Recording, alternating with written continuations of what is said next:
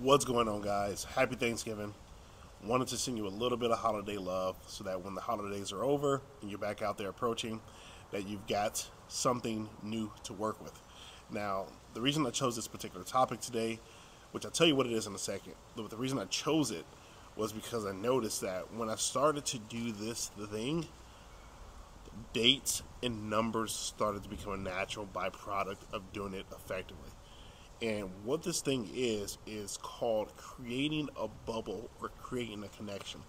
Now, I know I've got a lot of topics covering connection because I can't harp on it enough. Because guys are going out, but they're avoiding the one thing that works, and that's emotional connection. When you do this effectively, connecting, creating a bubble, you don't have to play games over text.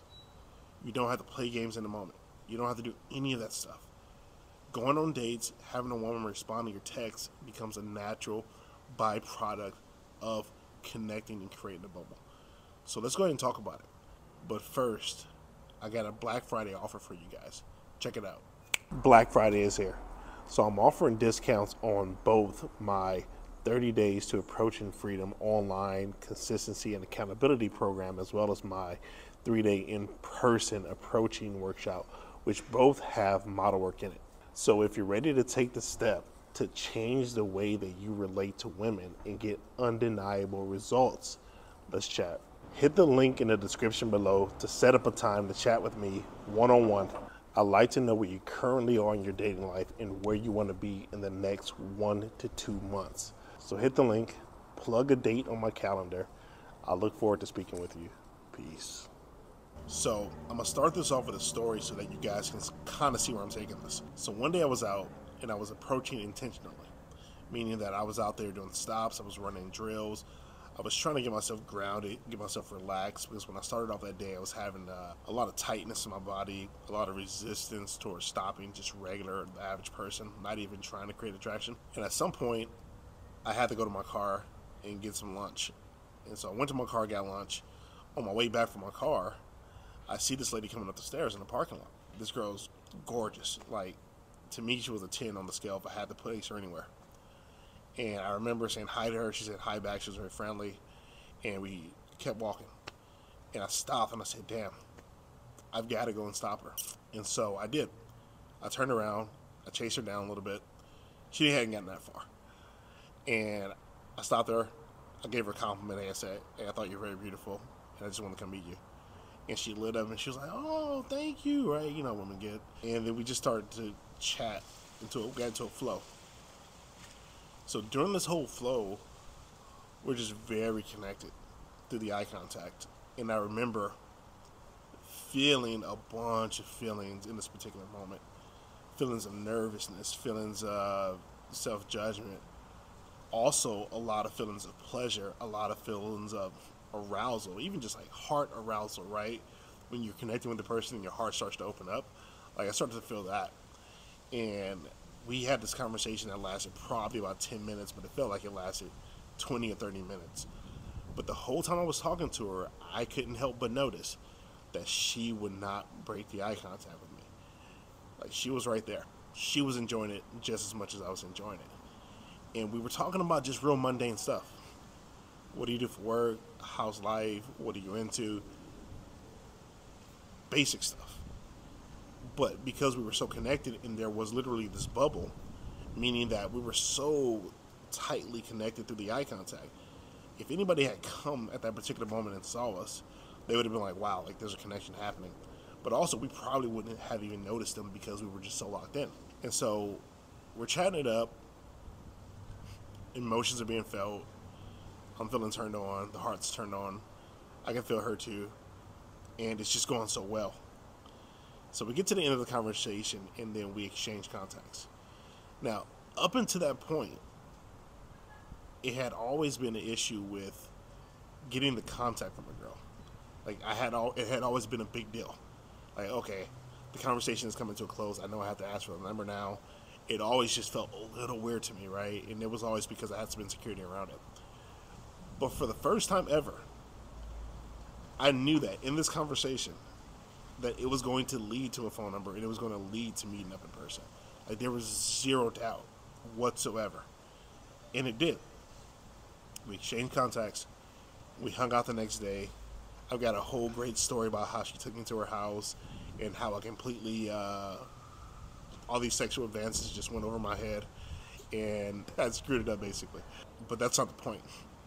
The point is the interaction. The point was the approach. The point was during that interaction with her, the connection felt so strong.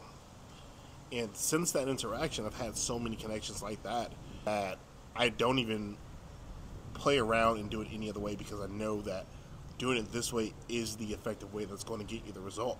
So, what way is that? It's the slowing down, creating the bubble. The bubble is essential. I see guys walk up to girls and they completely rush through the interaction. And I'm not saying that they're bad because they do that, because they're not aware, right? Especially when the nerves get the best of you, they've got you kind of racing, not wanting to feel all the emotions that are in the tension of the moment. I understand that. I've been there. I know what that's like. What you want to do is you want to get to a place where you can connect through the eyes and feel all the tension that comes with that. Feel all the emotions in the body that are being stirred up. And don't get reactive to it. Embrace it. Embrace the weirdness of it all. Right? Embrace the embrace how awkward it feels to be feeling the whole lot while you're connecting with somebody.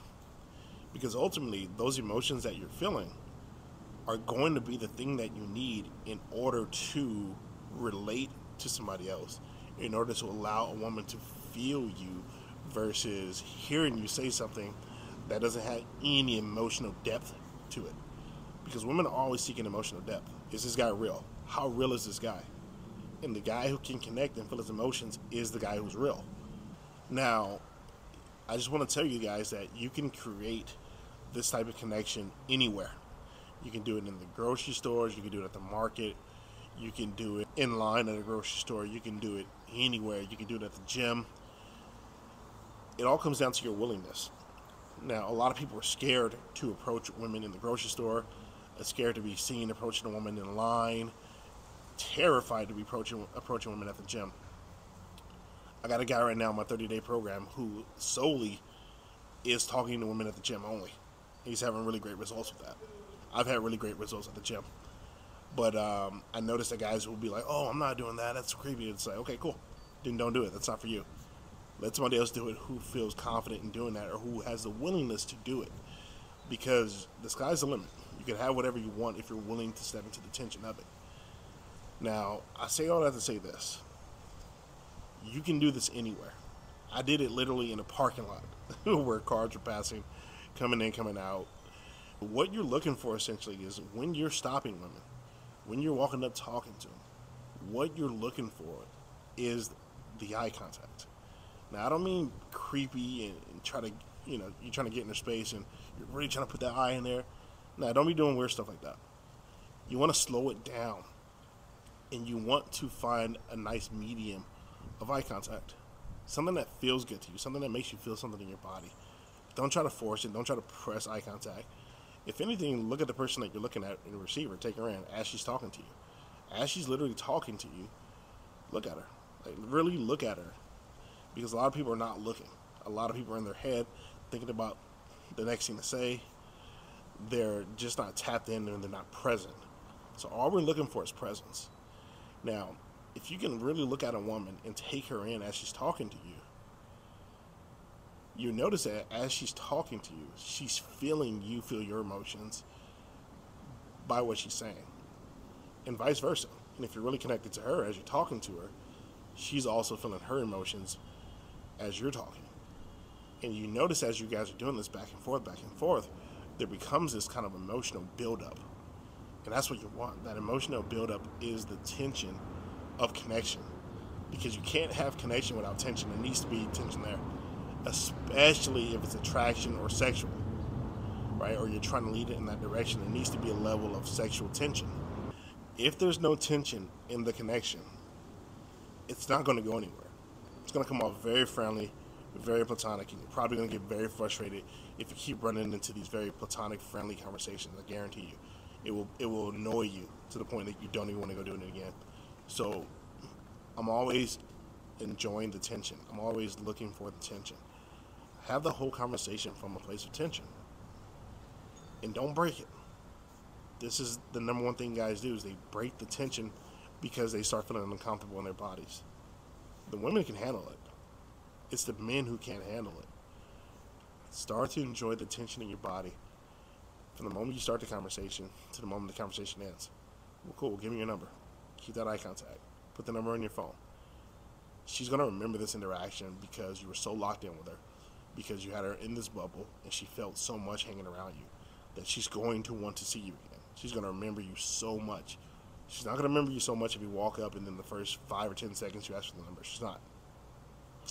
But if you have a lasting connection, a lasting emotional connection with her, dude, she's really gonna remember you.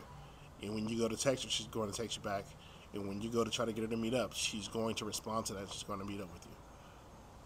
If you're having trouble getting women to meet up on dates or text you back, it's because you're not creating a bubble. Anyways, guys, I hope you guys get the concept. If you got more questions about it, put it in the comments, and I'll go ahead and clarify if I need or need to make another video about it. But I want you guys to get out there and start having the results that actually stick and last. Anyways, love you guys, and I'll see you in the next video. Peace.